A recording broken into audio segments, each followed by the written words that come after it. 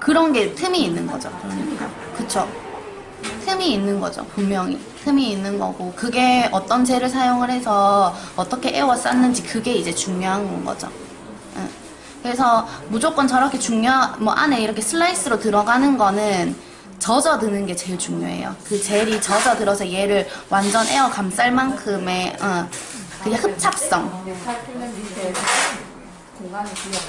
그치요. 그런 거가 그렇게 녹는 거거든요. 없어지잖아요. 필름이 없어지거든. 중간에 다이아몬드를 했는데 필름이 없어진 거예요. 그러니까 그런 게 그런 거예요. 어, 녹아서. 물이 들어가도 저렇게 색깔이 자꾸 불어서 없어지니까.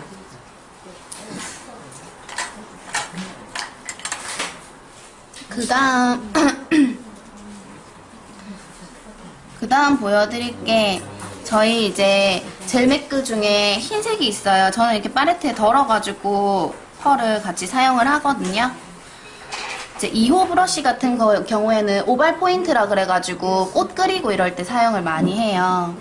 근데 하트 프렌치 요즘 정말 많이 하잖아요. 아직까지 하트 프렌치 손님들 많이 좋아하거든요. 자, 그럴 때는 얘를 요렇게 양쪽에 요렇게만 그려주고요. 보이세요? 근데 네.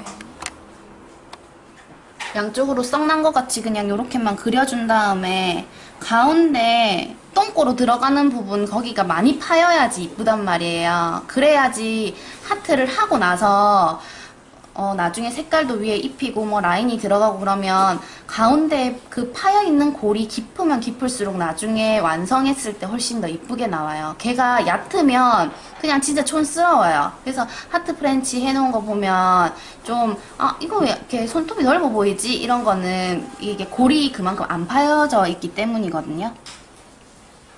그래서 이렇게 양쪽으로 한 줄씩 이렇게 잡아가지고 일단 구도를 잡아준 다음에 가운데로 얘를 들어오는 거예요, 이렇게.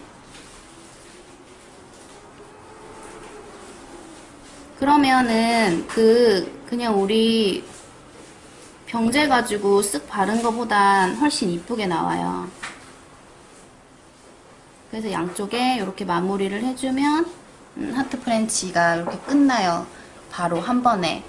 그래서 브러쉬를 활용하는 기법을 이렇게 사용을 하면은 되게 편하다는 거를 이제 알려드리는 거고요. 이렇게 하고 나서 여기 위에도 이제 필름이 올라가거든요. 그건 조금 더 다르게 올라가는 거라서 또 한번 보여드릴게요.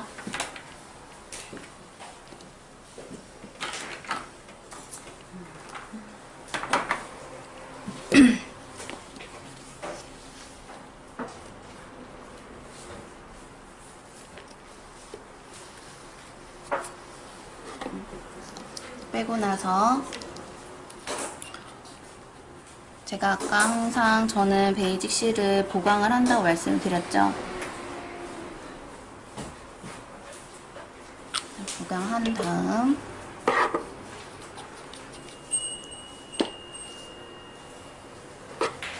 빼셔서 저희 요 핑크 48번 색깔 되게 이뻐요. 어. 코튼으로 그때 사쿠라라고 해가지고 나왔던 건데 색깔이 되게 여리여리해서 프렌치로 많이 바르는 컬러예요. 그래서 라인을 먼저 잡아줘서 라인을 먼저 이렇게 올려주고 밑으로 내려주면 훨씬 라인이 선명하게 나오니까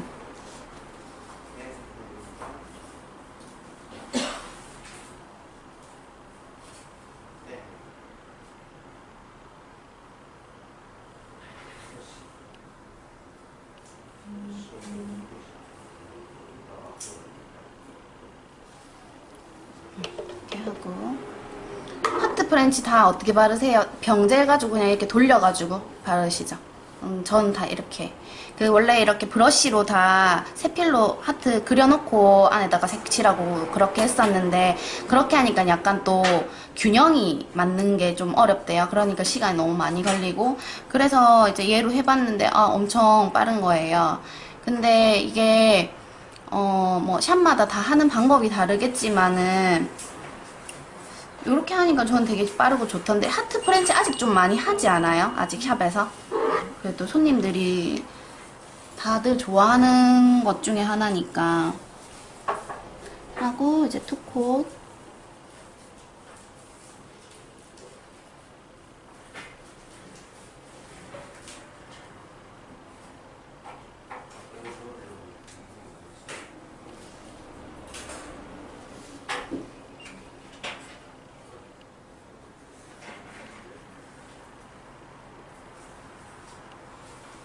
그래서 새끼손톱 이런데 되게 바르기가 편해졌어요. 이것도 원래 세미나 할 때 뭐 보여주려고 딱 했던 그런 건 아니었는데 어, 저는 해보니까 되게 편해가지고 며칠 전에 저도 이걸 이렇게 이제 해봐야 되겠다 해서 해봤는데 엄청 편하더라고요.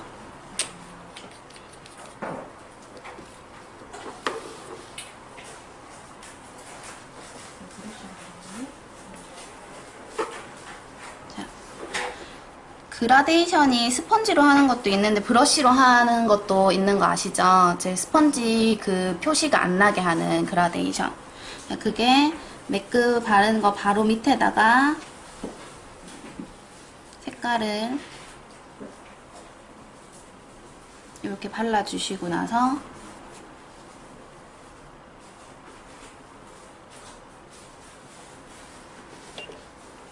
여기 베이직 실을 지금 덜었어요. 그걸 가지고 위에다가 콩콩콩콩 찍어 놓고 브러쉬를 살짝 밑으로 내려주는 거예요. 밀어서 내리고 닦아주고 밀어서 내리고 닦아주고 밀어서 내리고 닦아주고 이렇게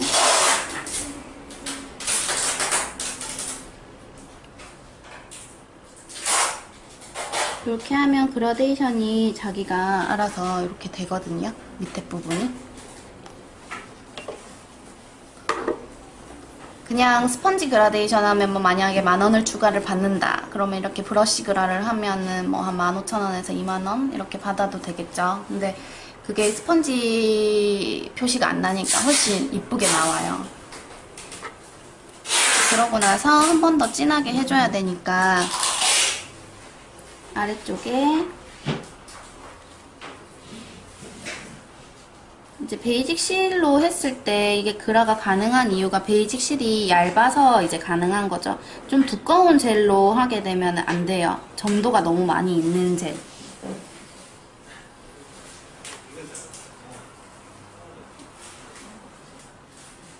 한 번 더 발라주고 똑같은 방식으로 한 번 더 내려주면 돼요.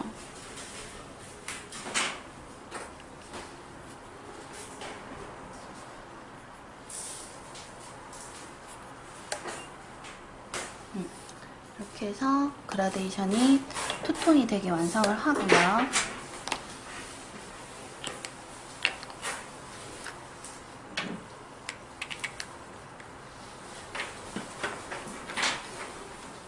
그 다음에 저희 여기 센터에 처음 오신 분도 있기 때문에 한번 보여드릴게요. 이제 요거는 샤인 이지라고 해서 빛나는 것이 쉽게 가능하다라는 뜻이에요. 그래서 칼라 아무거나 위에 다 상관없어요. 미경화만 남아있으면 다 되거든요. 그래서 미경화 있는 칼라 위에다가 얘 전용 브러쉬인 실린더 브러쉬 통짜로 생겨있는 이 브러쉬를 여기 위에다가 콕콕콕콕 찍어서 올려준 다음에 얘를 그냥 이렇게 밑으로 털어주면 자기가 밑에 있는 것만 남기고 다 그냥 갖다 붙어 있어요. 그래서 이렇게 이렇게 반짝여요. 근데 요거는 뭐 다른 것처럼 오버레이를 많이 해야 될 필요 없이 그냥 탑젤만 한 두 번 정도만 얇게 발라줘도 overlay가 다 가능하세요. 그러고 나서 뭐 바로 basic seal이 올라가도 상관은 없는데 basic seal이나 top이 올라가도 상관은 없는데 저는 손님 할 때 항상 요만큼 하고 cure를 잠깐이라도 해주고 하거든요. 그러면 펄이 조금이라도 더 붙어 있고 쓸려 내려가지 않아요. 그래서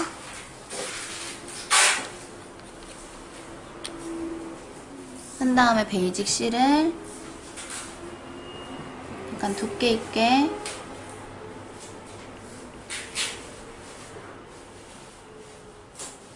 발라주세요. 그런 다음 큐어를 한 20초 정도 할게요.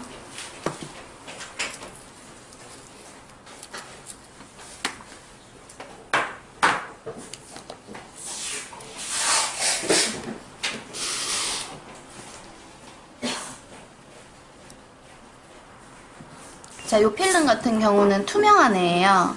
그래서 이 투명한 애를 이제 필름 사용하는 방법이 여러 가지가 있는데 아까 전에는 우리 그냥 일자로 잘라가지고 basic seal에다가 같이 경화를 시킨 거고 얘는 미경화 있는 데다가 그냥 붙였다가 이렇게 떼면 이렇게 붙어요. 어. 그래서 미경화가 아, 왜 이렇게 안 붙지? 그러는 거는 미경화가 너무 많아서일 수도 있으니까 cure 시간을 조금 더 늘려보시고 그 다음에 또 왜 이렇게 안 붙지 할 때는 붙였다가 붙였다가 바로 직각으로 딱 떼줘야지 얘가 그냥 딱 들러붙는데 했다가 막 이렇게 꺾는다든지 아니면 긁는다든지 이렇게 되면 위에 있는 필름의 모양이 상해요. 그래서 그냥 손으로 했다가 떼면 돼요. 저한테 새벽까지 전화가 와서 물어보시는 원장님이 있었는데 나중에 알고 보니까 핀셋으로 긁은 거예요. 그 판박이 우리 긁는 것처럼. 그래서 필름이 위에 모양이 다 없어진 거예요. 그렇게 하면 안 되고 그냥 붙였다 떼면 돼요. 그래서 붙였다 떼면 되세요 이러는데 아유 원장님은 그냥 편하게 그래 말을 하지 나는 그게 안 된다 이러는데 그냥 떼, 붙여서 90도로 바로 올려버리면 되세요. 그러면은 이렇게 오팔이 그냥 들어가요. 되게 연하게.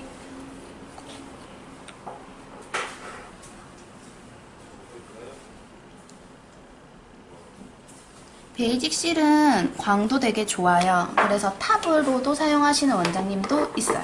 그래서 얘로만 그냥 다 하는 거죠. top을 안 하고 얘로만 다 하는 분도 있어요. 그렇게도 사용이 가능하세요. 그럼 얘는 top을 안 하고 한번 해볼게요. top을 안 하고 얘 광이 얼마나 나는지를 또 보고 싶어 하시는 분이 있으니까.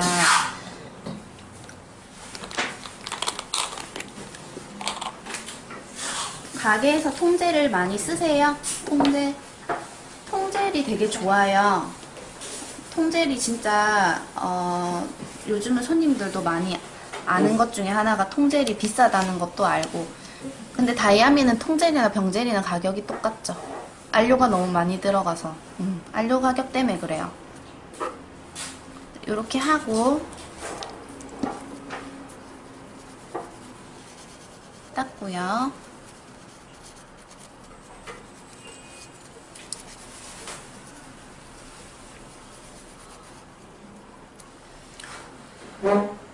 사실 어, 이제 여기다가 스티치를 이제 넣을 건데 뭐 손님들이 여기에다가 라인을 넣는 경우가 있잖아요. 근데 라인을 안 벗겨준다고 하면 앞으로 빼주면 훨씬 더 입체감이 있으니까 이쁘잖아요. 그래서 저거 안 떨어져요 하는데 진짜 안 떨어지거든요. 이렇게 하고 마무리를 싹 다 했어요. 탑재까지 했다고 생각을 해보세요. 그렇게 하고 나서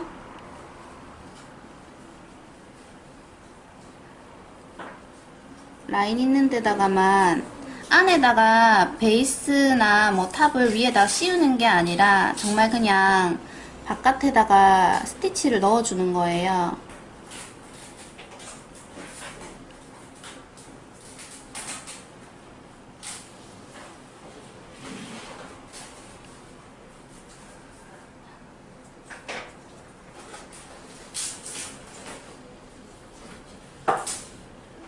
해도 되나? 응.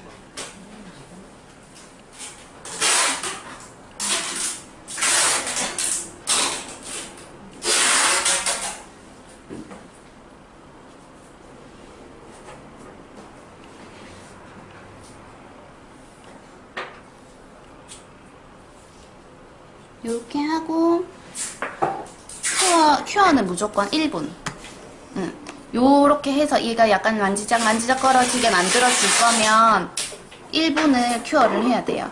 그러고 나서 닦으면 끝나요. 그래서 뭐 그냥 하트 French 할 때도 하고 top젤 올리지 마시고 이런 틴젤 가지고 약간 스티치 모양을 한번 내보는 것도 좋으실 것 같아요. 저건 진짜 절대 안 떨어지더라고요. 그러니까 저, 저렇게 참고를 하시면 되고